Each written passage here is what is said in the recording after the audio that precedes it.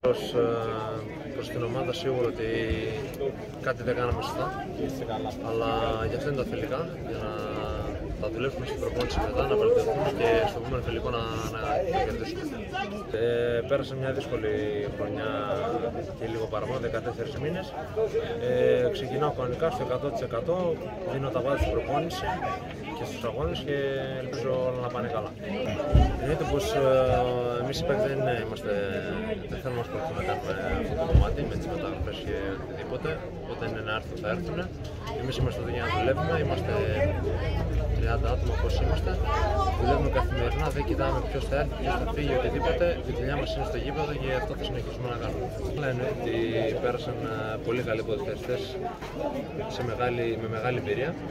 Ε, τώρα είναι κάτι διαφορετικό. Νομίζω ότι το βιώνουμε πρώτη φορά στην ομάδα αυτό εδώ.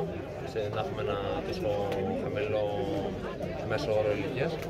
Αλλά εντάξει, και αλλαγές είναι καλό να γίνονται για να υπάρχει μια ανανέωση στην ομάδα.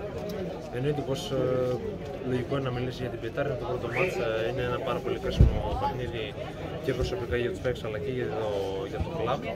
Ε, θα δώσουμε το 100% του εαυτού μας. Θέλουμε να κερδίσουμε και τα δύο παιχνίδια για να περάσουμε στην επόμενη φάση. Είναι ένας ε, μεγάλος δρόμο μέχρι να μπούμε στους ομίλους, αλλά πιστεύω θα τα καταφέρουμε στο ότι αυτά τα παιχνίδια είναι,